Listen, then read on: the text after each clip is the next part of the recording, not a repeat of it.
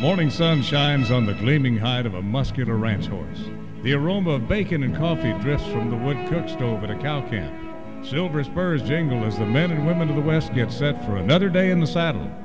From the heart of Canada's finest ranching country, this is the Spirit of the West with rancher and horse trainer Hugh McLennan and his collection of music, poetry, and conversations with the folks who live and work with horses and cattle in the Spirit of the West.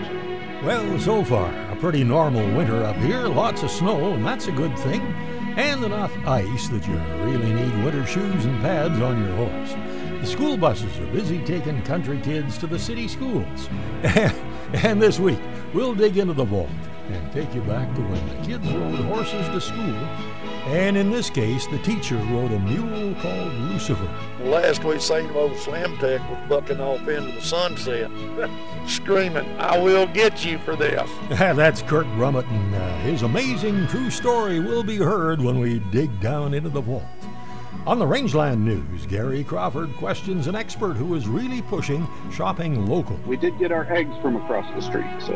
So he says he buys local when he can. And the great Joel Nelson will be in the Cowboy Poetry Spotlight. Since the glory that was Camelot with her dragons breathing fire, the hero of the world has been the horseback man for hire. And this is kind of special. I will be visiting with a former Canadian senator and an Olympian alpine skier voted as Canada's female athlete of the century in the 20th century. Nancy Greene Raine uh, won a very decisive giant slalom victory in Grenoble, France in the 1968 Winter Olympics. You might remember that. And I've been able to ride with her a few times, and she's pretty good on a horse and she has a great appreciation for our Western values and our ranching culture. And certainly there are a lot of people who ski who have a lot of money, maybe more than the cowboys. But in fact, I think a lot of them would just as soon live a cowboy life. Ah, this is a great conversation, and you'll hear more after an Alberta ranching couple get things going with an appropriate song for Nancy. Brand new one called When She Rides. Born a cowboy's daughter, wild and free tough as nails from riding those trails. That's how she was raised to be. Smile ever see. And old chaps with a tear above the knee. Seasons change,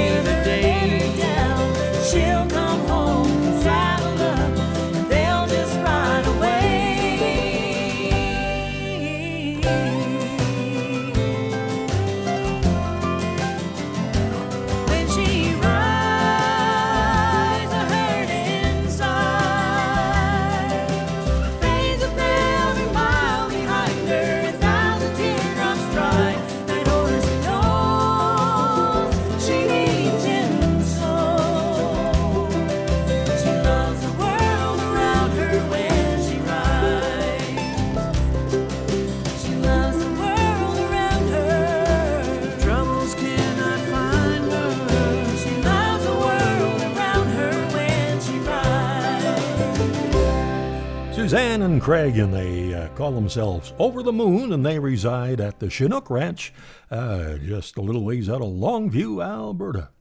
Well, I'd spent some time with Nancy Greene. I actually ridden with her on a couple of cattle drives and even skied with her one time, and uh, finally got a chance to do a conversation with her for the show, and I really pondered on what to ask her first. It's been on my mind for a long time. I'm finally going to get to have Nancy Greene Raine as a guest on the show. And I put a lot of thought into what the first question should be. And I think I've got it. Nancy, have you ever snowboarded? I have snowboarded, Hugh, and uh, I liked it. It was fun. It was a challenge to learn. But in the end, I decided that if God had really wanted me to be a snowboarder, put my feet on sideways. that could be. I prefer skiing. You do? Absolutely. That's great to hear. I wish I could do it, you know, but I think I'm too old to sort of transfer any skills from skiing to snowboarding. But uh, boy, it looks great. They've sure got rhythm when they come down the hill. Yeah, no, and, and, and snowboarding, uh, I mean, it's it's brought a whole different dimension to the mountains, and there's no doubt uh, the kids love it. It's easier to learn as if you're a young person, because you it's sink or swim. You either get the hang of it, or you don't. And if you don't, you give up and go do something else. And if you get the hang of it, off you go. Um, whereas in skiing, you can learn to ski, but always be slightly off balance. So then you're working a lot harder than if you really get the hang of the balance. I think there's a lot of there's a lot of similarities between skiing and riding, for instance, because if somebody's riding and they're not in balance on the horse, they're going to work really hard just to stay on the horse, and it's not going to feel good. That's interesting because JOJ, who is uh, an outstanding clinician uh, and uh, building a company called JOJ Horsemanship, uh, was up at our place the other day. And I've done uh, a lot of equestrian work and I've schooled a lot of colts, and that's mainly what I do, but most of it has been in a ranching situation and uh, it's pretty much cowboy style. Whereas Jay has had everything from Olympic jumping and dressage training to Western riding. And so after we did the interview, I said, Jay, would you like to see our horses? So he came out and we took a look at some of them. We got a couple of young horses that I'm just getting started. And he said, Well, why don't you saddle one of these up and show me what she can do? So I put her through her paces, and then I said, Now, what do you observe and what's happening here? He said, Well, basically, he said, You're riding like most of these cowboys do which is functional and it gets you through the situation. But if you were in an arena, you might want to work on something. He said you push your weight back against the cantle. You got your butt pretty far back in the saddle and your feet ahead. He said, and you're a skier. He said, just try and think of those stirrups as your skis and get your weight centered right over where your feet are when you're riding. So I'm working on that. You know, it's amazing the similarity. Yes, it is funny, isn't it? You know, I often use uh, use riding as as if I know somebody somebody rides I'll bring the parallels into skiing. Uh, because in riding, for instance, you use your, your quad muscles and your, your legs to, to guide the horse and steer the horse. And you do the same thing in skiing.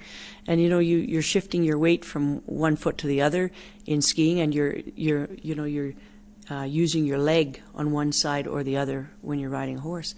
Nancy talks more about the way a good rider can become a good skier and vice versa when the Spirit of the West continues right after this. Welcome back to the Spirit of the West. Well, she learned to ski at the age of three, and by the time she was 16, she raced in the first of three Olympics. Uh, the first one, when she was 16, was in Squaw Valley. She served in Canada's Senate, and she skis just about every day in the winter.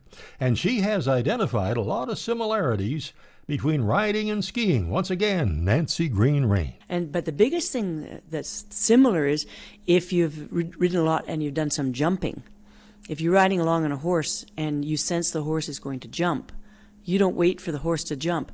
You get yourself going with the horse or even slightly ahead of the horse to make the horse light over the jump. Same thing in skiing. As you turn, uh, as you start a turn and go down the fall line, it's like your horse is jumping. You've got to go with your skis, and that's the that's the fine point of balancing. And I think that really does transfer from riding to skiing. Interesting. And now I know you've done the, the Kamloops cattle drive and uh, horseback all week, all day long, every day. Have you done a lot of riding over the years? Not a, not a lot. Um, we've gone on, uh, we went on a really fantastic uh, backcountry pack trip with our kids when they were about, uh, I think they were 11, 10 or 11. And that was a fantastic family adventure up in the high country north of Whistler, up in the Bralorne area. and so that was that was the only other long uh, thing I had done, other than just going for a ride or out on somebody's ranch where you're helping with the roundup or the branding or something like that. So I haven't done a lot, but I've always enjoyed it. My mom loved horses, and she that was a big part of her growing up, and. Uh, and it was it was really funny. It was a big part of her life, actually. Really? Yeah. Is that right? Did she have horses at home? Or? She had a horse when she was uh, she was younger. She kept it somewhere. Um, I'm not exactly sure. A relative's farm, I think, and she rode on a regular basis.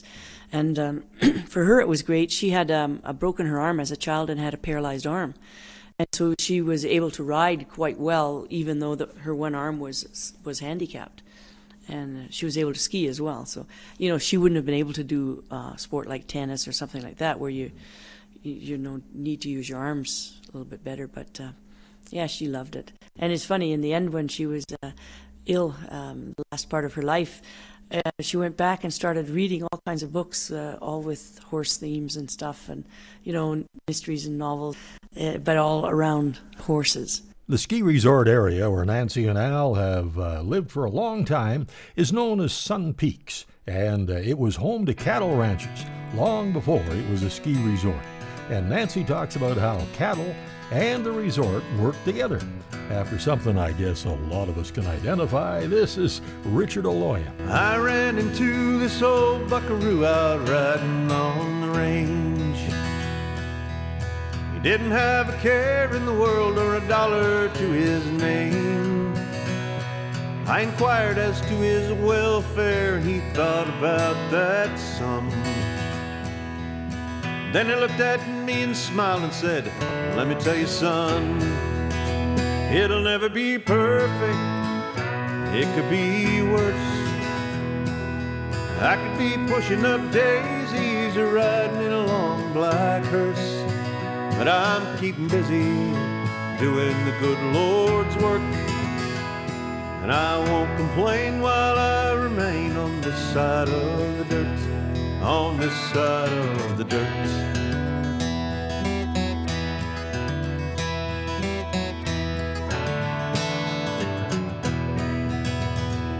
I know a kid from Colorado, and just about a year ago,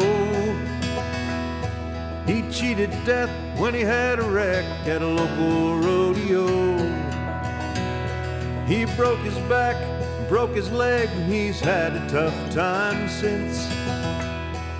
But I know what he'd tell you if you asked him how he is. I'll never be perfect, I could be worse. I could be pushing up daisies or riding in a long black hearse. I'm keeping busy doing the good Lord's work. And I won't complain while I remain on this side of the dirt. Some things you hear just roll on by, and some you'll take to heart. But a tumbleweed just gets blown apart.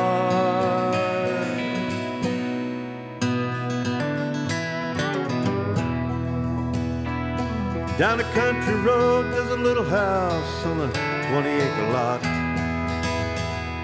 And that little house is all that's left of everything they bought.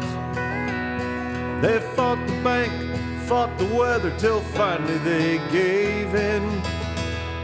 But if you retreat, you regroup, you can rebuild again. It'll never be perfect, but it could be worse. You could be pushing up daisies or riding in a long black hearse. You gotta keep busy doing the good Lord's work. And don't complain while you remain on this side of the dirt, on this side of the dirt. I won't complain while I remain on this side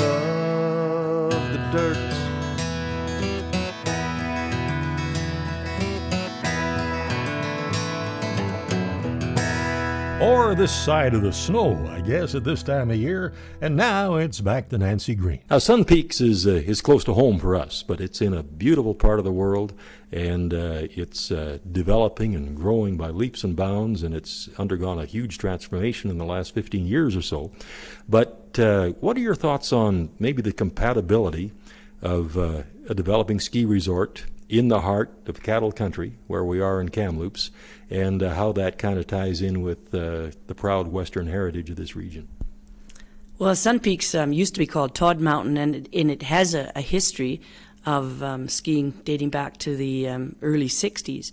And I think in the very beginning, they formed a relationship with the local ranchers because the ranchers were already uh, driving their cattle into the high country for grazing at the end of the summer. Um, in fact, before the cattle, they were using it for sheep, and there's some sheep herders' huts in the back country as well.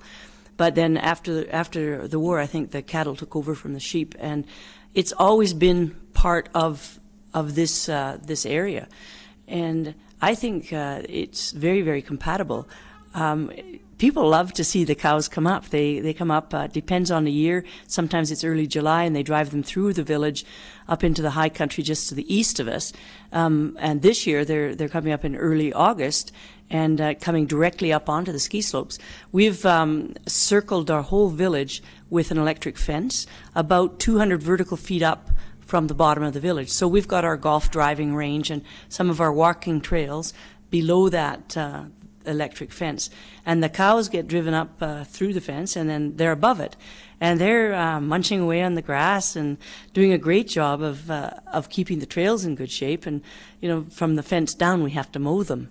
Uh, before the winter. So one of the reasons we've got such a great season is we've got these lovely trails that are tended by the cows. and these four-legged groomers do a good job. They do, they do. And then it, it's interesting because as the summer, uh, you know, um, as the grass uh, changes, I guess, um, the, the cows go right up into the high country and they're they're grazing amongst the alpine flowers, and you could get some beautiful pictures of the cows kind of nestled in amongst the flowers, and it's really quite. Uh, it, it adds a lot. I think it's good. It's gorgeous up there in the summer. Man, oh man, you're just, I mean, the view is incredible. What, 7,200 feet, 7,300 feet near the summit? Yeah, and there is a lot of alpine meadows, a lot of open country. So for the cattle, of course, it's very, very good, very valuable. And, you know, as I said, that the, the use of the land um, should be shared. And, um, and I'm, there's never been any discussion or any issues working with the ranchers because, of course, uh, this is where they've, this is what they've always done. And we sort of came later as skiers, but I think because we've cleared the forest and planted all these ski runs with grass, it's good for the good for the cattle too. Well, there's more from Nancy Greene, and coming up, we'll dig down into the vault for another incredible story when the Spirit of the West continues right after this. Welcome back to the Spirit of the West. Stories from the vault from the Spirit of the West. This is where we dig deep for some of the most amazing stories from the folks who bring some heartwarming, knee slapping, spellbinding episodes. The amazing story of a school teacher and a mule from Kurt Brummett right after this. Announcing Horse Expo Canada, the largest equine trade show in Western Canada at Westerner Park, Red Deer, Alberta, April 15th to 17th, 2022. There'll be a trainer's showdown as three outstanding horsemen will start three promising colts Cade Mills, Jason Irwin, and Trevor Murtis. Great opportunities to learn from Western Horsemen's winner of the Women of the West Award and many more awards, Barbara Schulte, and a chance to learn about mounted shooting and much more from Kane Kwan.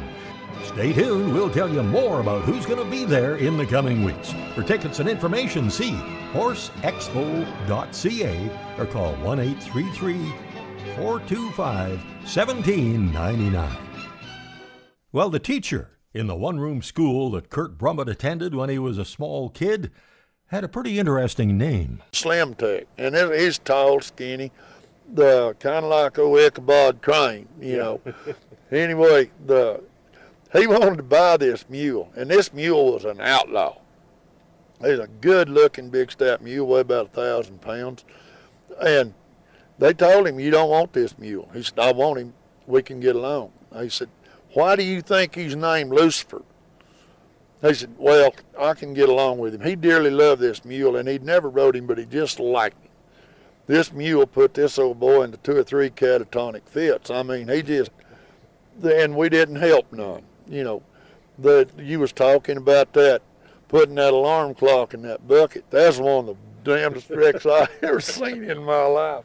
The, he used that to set his time for the classes. See, he taught all six grades, plus the high school kids you know, the ones that was on upper them older boys.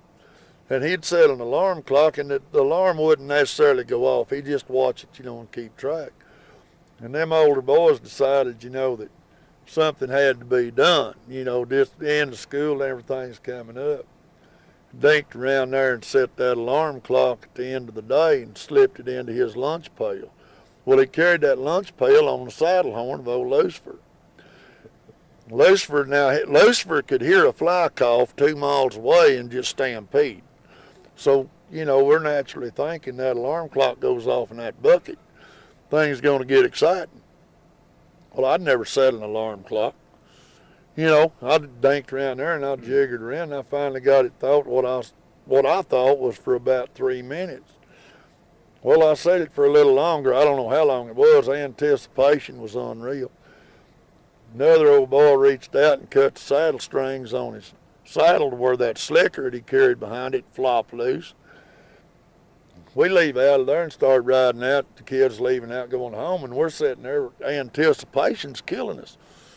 Finally, that alarm clock blowed up in that lunch bucket, and old Lucifer had all he wanted. He jumped, went to kicking. When he did, he broke the saddle string on that slicker. Slicker hit old Tom's horse right in the head. Tom's horse turned, mowed down four other kids on burros and lighter horses. The last we seen of old Slim Tech was bucking off into the sunset, screaming, I will get you for this. but that old mule could literally kick that bucket. I mean, he. The ending of that story, of course, is that Slim Tech was never seen or heard from around town again found out, you know, later on that he was working in a house of ill repute down on the border as a piano player, where there was no kids allowed. That was uh, pretty much the end of his teaching career. Pretty much. Not much can raise your stress level more than a tractor breakdown when you need it most. We've all spent hours on the phone and driving around trying to find the right parts, and that's no fun when you're missing something you need to finish the job. Here's a better way.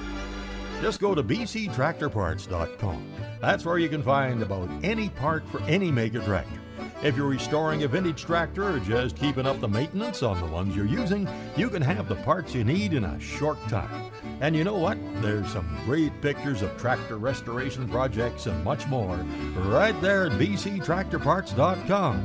What? Oh, you don't have internet? Well, Try calling Mark at 250 395 0960. Now, just ahead of the Rangeland News, here's Tom Cole.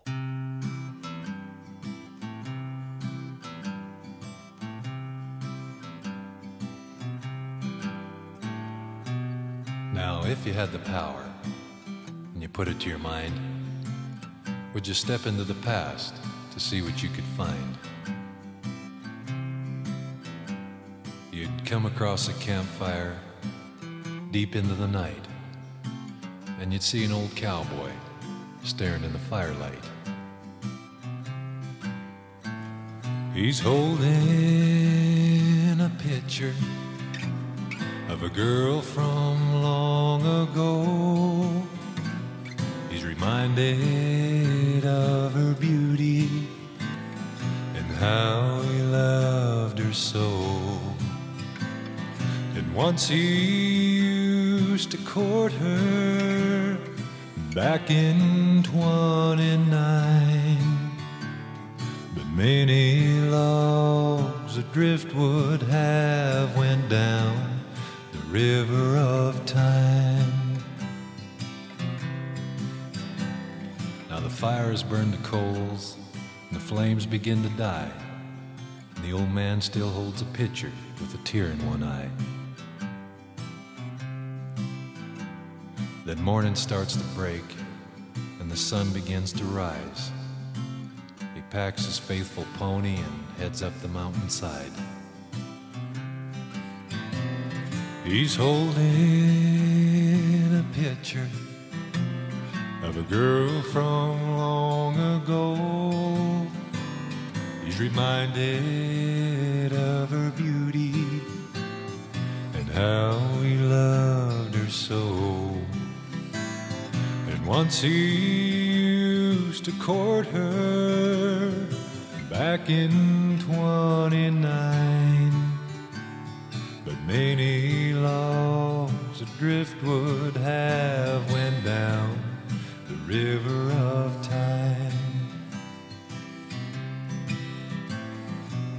Now, if you had the power and you put it to your mind, would you step into the past see what you could find? The Rangeland News from the Spirit of the West, a roundup of issues and events from the world of agriculture. At the top of page one, it says we hear a lot about buying local these days. Nice when you can do it, but a lot of food products we want aren't growing year round in Canada or parts of the U.S. So, according to Gary Crawford, they're imported from other countries. For the first 11 months of 2021, the U.S. racked up record agricultural export sales, up 20% from the same time frame in 2020. We also made record purchases of ag products from other countries. Total imports are 155.9 billion, up 17% from 133.8 billion in 2020. USDA economist Bart Kenner says we bought more of almost every foreign ag product. The lion's share, though, of our imported purchases Fruits, vegetables are a close second. So, in general, produce. Produce that does not grow as well in our climate, at least not throughout the entire year. But we have a big demand for out of season products. For example, right there in the Kenner Kitchen near Kansas City. It's 15 degrees outside, and I had fresh blueberries on my cereal this morning. Um, those were not grown here in Kansas. Uh, but Bart says before we accuse him of not supporting local producers, just one thing. We did get our eggs from across the street, so So he says he buys local when he can. Gary Crawford for the U.S. Department of Agriculture.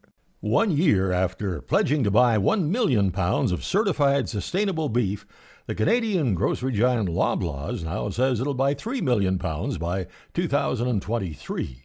To be certified, the cattle must be raised on farms and ranches and processed under protocols established by the Canadian Roundtable for Sustainable Beef. Loblaws said it would buy the beef from certified farms in partnership with uh, the Ontario Corn Fed program. And the company also said it aims to source 30% of its beef from uh, farms certified under the Sustainable Beef program, which of course requires farms to be independently audited. And growers of perishable produce across the West Coast are paying nearly triple pandemic trucking rates to ship things like lettuce and berries before they spoil. Shay Myers, the CEO of Owyhee Produce, which grows onions, watermelons, and asparagus along the border of Idaho and Oregon, says he's been holding off shipping onions to retail distributors until the freight costs go down. Myers said transportation disruptions in the last three weeks caused by a lack of truck drivers and recent highway blocking storms have led to a doubling of freight costs for fruit and vegetable producers on uh, top of already elevated pandemic prices. Although costs ranging from feed to fuel are going through the roof, producers aren't seeing any increase in cattle prices, according to Melanie Wowk, chair of the Alberta Beef Producers. There's two large packers in southern Alberta that are responsible for 80% of the slaughter of Canada's beef market, and so the question is exactly why is there such a discrepancy between what the producers are getting and what the packers and the retailers are making? The financial strain on cow calf and feedlot producers led Melanie to fear that what's going to end up happening is this is just going to put more and more people out of business and shrink our cattle herd even more in Canada. And of course, the sector was uh, hard hit by heat waves and drought that affected much of Western Canada this past summer, causing shortages of beef that forced a lot of producers to downsize their herds. Three totally unbroke colts with minimal human contact will meet up with colt starters Jason Irwin, Trevor Murdas, and Cade Mills at Horse Expo Canada at the Westerner Park in Red Deer, Alberta. Uh, starts on the 17th of April. A lot of other clinicians, a big trade show, and so much more. And you can get the details at horseexpo.ca. Next regular cattle sale at the Kamloops Yards of the BC Livestock Co-op is February the 8th. Another one February 22nd. And on February 24th, there'll be a regular sale at the Williams Lake Yards. You can get all the information and see the sales streaming live at bclivestock.bc.ca. Meanwhile, at the Innisfail Auction Market, regular cattle sales, of course, every Wednesday. And on February 16th, Along with a regular sale, it's the Future Legends third annual Simmental Bull Sale. A lot of other special sales coming up, and uh, you can see more information at InnisfailAuctionMarket.com or just give Dwayne, Mark, or Danny a call 1 800 710 3166. Okay, and for the final item, I guess it might be another old guy moment. Spook and Sparkle are our two barn cats. They sleep in our attached garage where there's a litter box and a big self feeder uh, where we put in the bagged dry cat food. And they come out with us every morning. They spend the whole day out hunting mice, and they come in just before dark every night. So Billy had been doing our evening chores most of the time, but last week I did 'em all by myself. and when I finished, I noticed there wasn't much cat food in their feeder. So I saw this good sized bag on the shelf. It had the French language side facing out, but there was a picture of a cat on the bag, so I thought that's got to be cat food. I cut it open and I started dumping it into the feeder. And then I noticed the texture was a little different than the regular cat food. So I took a, took a look at the English side of the bag and it said, Cat litter. Oops. Spook came over and sniffed it and said, Okay, now do I poop in the feeder and get our food out of the litter box? And that's the Rangeland News. The subject for the Irvine Saddles and Western Wear Horse Training File is a way to prepare your horse for a flying lead change. That's coming up along with more from Nancy Greene Raine when the Spirit of the West continues right after this. Welcome back to the Spirit of the West. More interesting comments from Nancy Greene Raine coming up. She'll talk about uh, her Olympic ski racing championships and how, even though she's a highly recognizable, genuine celebrity, she's able to keep things in perspective. Now it's time for the Horse Training File, brought to you by Irvine Tack and Western Wear, Canada's largest Western store. At Irvine Tack and Western Wear, they'd love to deliver everything to their customers on horseback, because after all, riding is their passion. Of course, that's not really possible, but I'll tell you what, you can order anything online and they'll deliver to your door in no time. By truck, that is. So wrangle up your Western wear and more at urbans.ca and get this free shipping on orders over $100. Some restrictions apply, or stop in today the good old fashioned way. Exit 305 off Highway 2 by Crossfield, Canada's largest Western store. Well, the flying lead change is pretty to watch and really fun to ride. A lot of ranch cowboys and their solid mounts do it instinctively, while in a reining competition it's done on cue. Now, before you work on flying lead changes, there are a few things that your horse must be able to do. He must willingly pick up either lead on cue from a walk and a trot. He must travel in a straight line when you ask him to, and once he's ready, what you can do is set four cones out in a straight line and leave about 30 feet between the first two 40 feet between cones 2 and 3, and then 30 feet between cones 3 and 4. Got that? Okay, good. Now, from a relaxed stop, walk to the first cone, trot to the next one, and at the third cone, pick up a lope on the right lead for a few strides, and then drop back to a trot, and then back to a lope on the left lead. And as the horse gets comfortable at the drill, you can lope between the lead changes, and if you're consistent, he'll pick up the proper lead at the same point in the pattern each time. Couple of things, though, to keep in mind during the drill. Do not lean over and look at his feet. If you're not sure what uh, lead he's in, uh, just take a look at your own feet. And if your right foot is ahead of your left, he's probably on the right lead. And uh, if your right foot is, is fairly still, and your left foot is in motion, well, that's another indication he's on the right lead. Keep your eyes focused on a spot at the other end of the arena, and that'll help the horse stay in a straight line and develop a smooth, flowing lead change. And for Irvine Saddles and Western Wear, that's the Horse Training File. Something our horses do really well on is that daily feeding of Hoffman's horse ration. They look forward to it every day, and uh, you can find out all about what's in it at hoffmanshorseproducts.com. Announcing Horse Expo Canada, the largest equine trade show in Western Canada at Westerner Park, Red Deer, Alberta, April 15th to 17th, 2022. There'll be a trainer showdown as three outstanding horsemen will start three promising colts Cade Mills, Jason Irwin, and Trevor Murtis. Great opportunities to learn from Western Horsemen's winner of the Women of the West Award and many more awards, Barbara Schulte, and a chance to learn about mounted shooting and much more from Kane Kwong. Stay tuned, we'll tell you more about who's going to be there in the coming weeks. For tickets and information, see horseexpo.ca or call 1 833 425 1799. Don Williams was loved by legions of fans, and most of his songs were kind of, I guess, what I'd call easy country. But uh, when he drifted into the western side of music, it was pretty easy on the ears, too.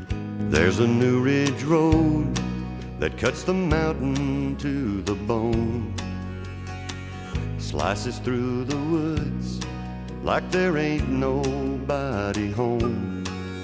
You can wheel on up to Valley View, you'll never feel the climb. Oh, but I take the old trail every time. The old trail just moseys right along, moves at the speed of a sweet love song, and the wind through the trees carries her own wind chimes. Yeah, I take the old trail every time. Lately it seems things vanish by degrees. How soon we forget we made our tree houses out of trees. When we gonna realize some reasons just don't rhyme? Yeah, I take the old trail every time. The old trail, now may she never fade. The one where the deer always have the right of way. How I love to watch the wintergreen along the timberline. Yeah, I take the old trail every time. People in cars, let the radio do the talking. But I always find that I'm singing when I'm walking the old trail. Just moseys right along, moves at the speed of a sweet love song, and the wind through the trees carries her own wind. Yeah, I take the old trail every time. I take the old trail every time.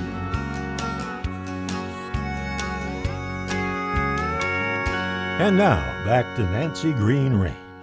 And uh, in North America, uh, there is kind of a Western theme that uh, you'll find prevalent at a number of ski resorts. We're just talking about Steamboat Springs and places like that in Colorado. And uh, I would guess that the European skiers who come for a somewhat different skiing experience uh, kind of like that. Oh, they do. I mean, I can think back to when I was racing and the European teams would come over for the races in March. and we went to places like uh, you know, to Colorado. And then the first uh, World Cup final was held in Jackson Hole, Wyoming, and it was actually called the Wild West Classic. And the prizes were spurs, and uh, everybody had cowboy hats, and uh, there was just a fantastic uh, atmosphere around the race. And uh, in fact, after the prize giving, uh, it got the Wild West Classic got to be quite wild.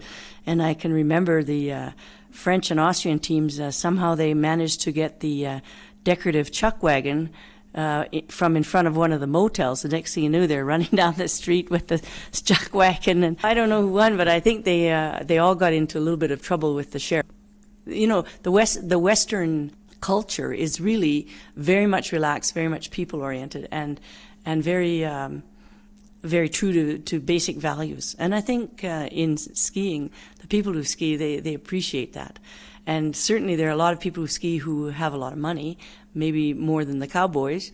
But in fact, I think a lot of them would just as soon live a cowboy life. They're coming out to the mountains to get away from the cities, to get away from the, the stress of their business. Yeah. And and uh, you know, I, I know that people from the city often look at the ranching business and the, the ranching world with a sort of romantic vision of it, and probably have no idea of just how hard the work is and how long the days are. And I mean, I'm sure there's lots of heartache involved as well sometimes.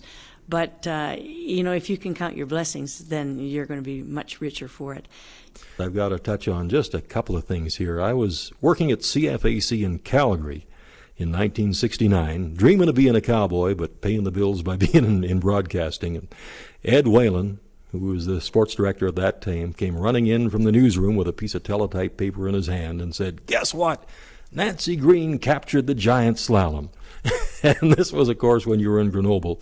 And there was just such an ecstatic cheer went up all around the station.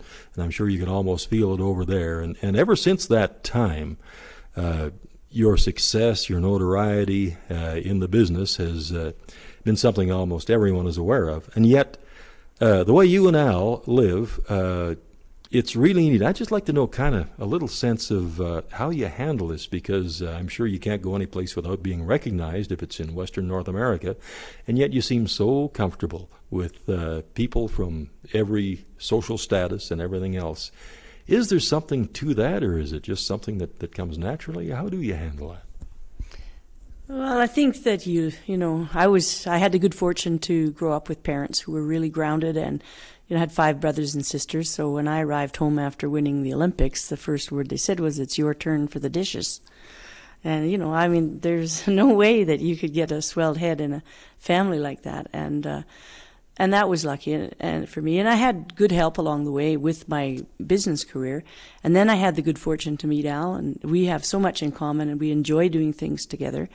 And and we've made skiing our life's work, and it's a wonderful industry. It's an industry there. It's maybe a bit like ranching. There's a lot of long hours, and a lot of hard work, but you get up on top of the mountain and you look out, and it's a beautiful day, and you know it's just you're you feel so lucky to be there, and I've always enjoyed being with people, and you know, it, it, just doesn't. I don't get tired of it. I still enjoy skiing. I ski almost every day in the wintertime with our hotel guests and guests in the resort. Great. Well, Nancy, thanks so much for joining us on the Spirit of the West here, and I hope it won't be too long. Maybe we can have you back again.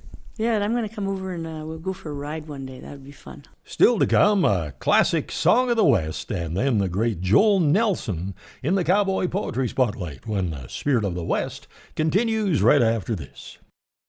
Welcome back to the Spirit of the West. Members of the Western Writers of America chose this song as one of the top 100 Western songs of all time. The classic Song of the West here needs no introduction, done this time by Bob Wagner. Listen to the age old story of the shifting, whispering sand.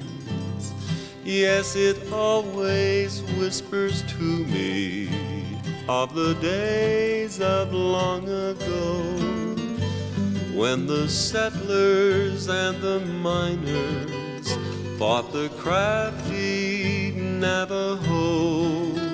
How the cattle roamed the valley, happy people worked the land, and now everything is covered by the shifting, whispering sand.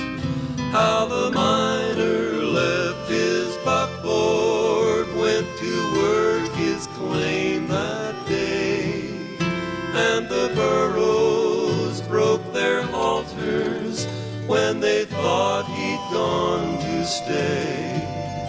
How they found lying dead upon the sand.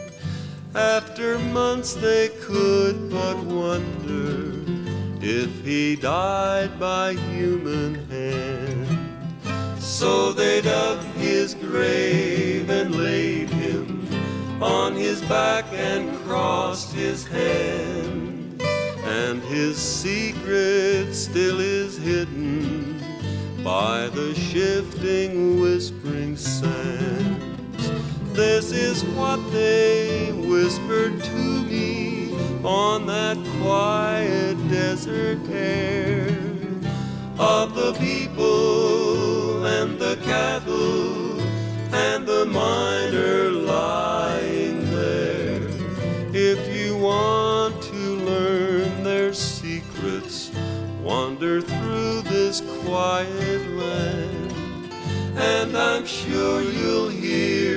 the story of the shifting, whispering sand. Shifting, whispering sand. Uh, recorded hundreds of times, sometimes with a stirring narration. We'll try and bring you some other versions of that song in the near future. And now here's legendary cowboy Joel Nelson. History wrote his epitaph when barbed wire cut the range, while he was but an embryo adjusting to the change. But he was not aborted by the creaking stretch of wire, and the numbers still are legion of the horseback man for hire. His shadow cast at sunrise on some cut bank wall of sand is a mate to the conquistador in Coronado's band. He is steeped in the traditions of those horsemen long ago. He is rumored to be mortal. He will not admit it so. Since the glory that was Camelot with her dragons breathing fire, the hero of the world has been the horseback man for hire. And his glory days aren't over in spite of all we've read. He is no less than he ever was, no matter what's been said. In the deserts of the high tech world, he's trailing up his cattle. He will never quit his horses, and he'll never sell his saddle.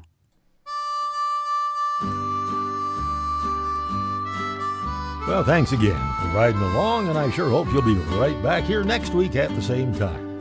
And as always, thanks to Mark and Kathy McMillan, the Spirit of the West support crew. Oh, yeah, and remember to check the latest issue of Canadian Cowboy Country Magazine for the real flavor of the West. And be sure to check out our YouTube channel where you can see this program and all our past ones with video. And you can download the show as a podcast and take it with you. Links are on our website, hugh-mclennan.com. Till next week, I'm Hugh McLennan. Hope to see you down the trail somewhere real soon.